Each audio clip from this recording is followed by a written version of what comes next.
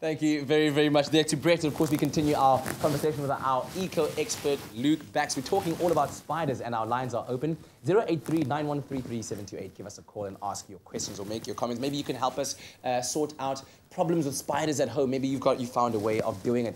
Luke, have you ever been scared of us? I know you love nature, but have you ever seen a spider and even remotely gone, Uh, not really. I mean, you, the shock comes when you wake up at, I mean, to that? that's pretty cool because then you got to go try find out what made it. I seem to just have, be having a technical issue here, so let me really. Ah, oh, thank you very much. I'll take this up. Thank you very much. Um, tell me about the biggest spider in the world. So the biggest spider in the world is called the Brazilian bird-eating tarantula. Mm um, the body, it's the, the, record body length can get up to 10, and just the body is 10 centimeters. So that's not excluding. Oh my word. That's not excluding the legs. I mean, well, that is excluding the legs. So it's the size of a dinner plate, pretty much.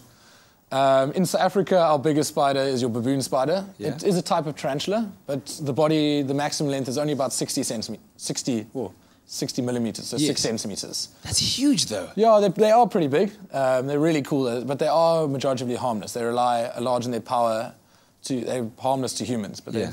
Yeah. Let's quickly take a call right now. Uh, join is, John is joining us on the line. Good morning, John. Hello. Hi. Hi, John. Where are you calling us from? I'm calling us. I'm calling from Deneysville. Deneysville, where's it? It's at the Vaal Dam. In the Vaal Dam, somewhere there. Okay. Uh, what is your question? My question is, um, not too long ago, I was bitten by a spider. I don't know what spider it was, but um, it it started as a small sort of. It looked like an ingrown hair, and um, it was really painful. I went to the pharmacist, and he said it's a spider bite. Hmm and um, basically in, within a few days I had ended up in hospital and had to have some surgery and had a, a wound that was about five centimeters by five centimeters big, where they actually had to drain all the pus out. So I was told it could be a violin spider or some sort of small black jumping spider. And I was just wondering, you know, there's conflicting information and what could have caused this.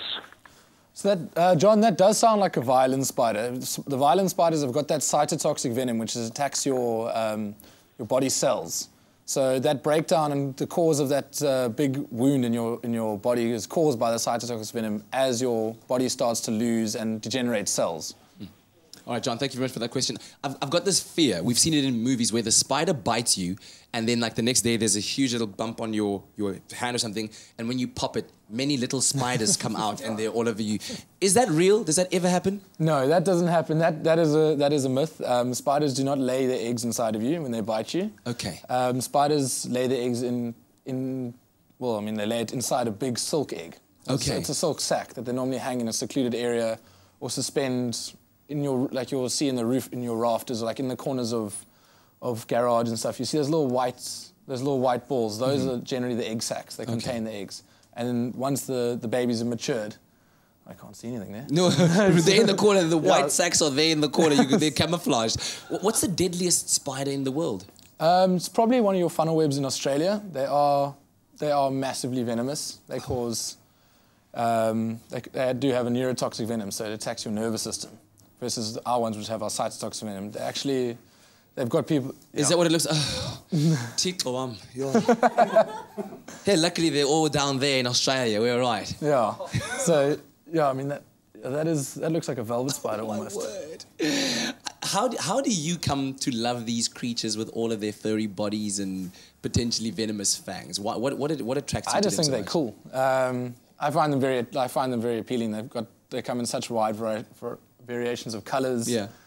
And it's just like I mean they're awesome the way they, they, they get stuff done. Yeah. You, yeah, I mean they they're incredible hunters. Yeah. You look at something that's the size of your fingernail that still manages to hunt and survive. Yeah. And avoid everything that wants to eat it, and still manages to thrive in an yeah. environment. I guess we can all feel secure in the fact that most of our spiders in South Africa are not venomous. Yeah, Thank you exactly. very much for coming in this morning. No worries. So yeah, I think like most of us, you may be scared, but there are ways to ensure that the encounter between man and spider both can come out unharmed. Of course, stay safe out there and also do your best to preserve our ecology.